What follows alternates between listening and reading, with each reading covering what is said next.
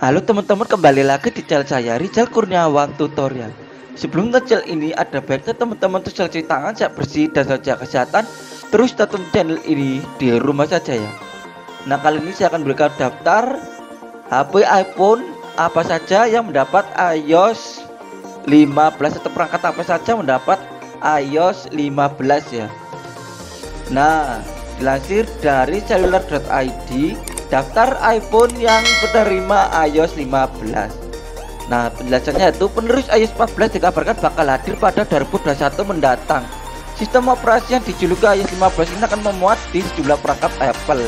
Masih dari di China, Senin, setidaknya ada 17 perangkat Apple yang siap menerima pembaruan iOS 15 Berikut daftar yang akan mendukung iOS 15 Ya, yang pertama jajaran iPhone 2021 sudah pasti ya iPhone 12 Pro Max, iPhone 12 Pro, iPhone 12 mini, iPhone 12, iPhone 11, iPhone 11 Pro, iPhone 11 Pro Max, iPhone 10s, iPhone 10s Max, iPhone 10R, iPhone X, iPhone 8, iPhone 8 Plus, iPhone 7, iPhone 7 Plus, iPhone SE atau generasi kedua, iPhone X atau generasi ke-7.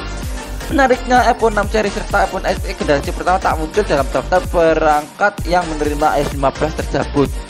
Menurut laporan terbaru, Apple berencana untuk meninggalkan dukungan untuk iPhone SE atau generasi pertama, iPhone 6s dan iPhone 6s Plus ketika merilis iOS 15 tahun depan.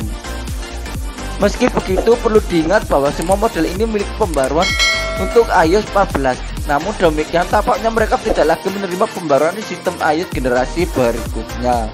Terlepas dari itu, daftar ini belum dapat dipastikan bahasanya mungkin saja Pokemon untuk menambah ataupun mengurangi perangkat yang menerima iOS 14 apalagi hingga saat ini belum ada penyertaan resmi dari Apple.